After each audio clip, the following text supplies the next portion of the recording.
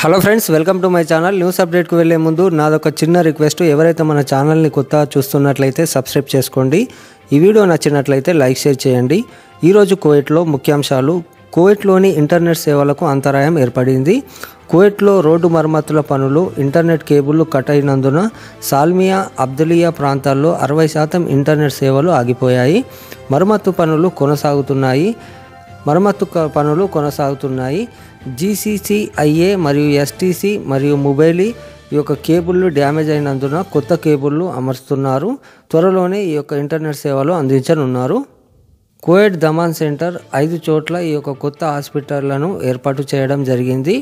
హమదియే మరియు జహరా మరికొన్ని ప్రాంతాల్లో ప్రారంభానికి సిద్ధమయ్యాయి. వీటిలో మూడు వందల బెడ్లుగా ఉన్నాయని ఈ ప్రతి హాస్పిటల్లో ఈ యొక్క హాస్పిటల్ ప్రవాసుల కొరకి కట్టించడం జరిగిందని సంవత్సరానికి ఒక వంద ముప్పై దినార్లు ప్రవాసుల నుండి తీసుకోనున్నారు.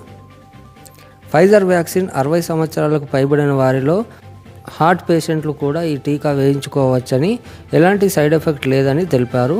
అదేవిధంగా ఎక్స్ట్రాజెనికా ఇండియన్ వ్యాక్సిన్ కూడా అరవై ఐదు సంవత్సరాలకు తక్కువ వయసు వాళ్ళకు ఈ యొక్క వ్యాక్సిన్ వేయించుకోవచ్చని వీటికి కూడా ఎలాంటి సైడ్ ఎఫెక్ట్ లేదని ఆరోగ్య మంత్రిత్వ శాఖ తెలిపింది.